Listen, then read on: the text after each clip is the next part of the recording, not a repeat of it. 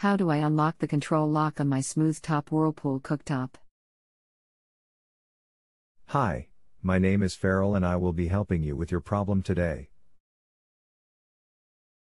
Thanks for your question, it is appreciated. Concerning your cooktop being in the control lock position, please try the following push and hold start button until you hear a beep or press 9 and 0 together or press cancel for 5 seconds.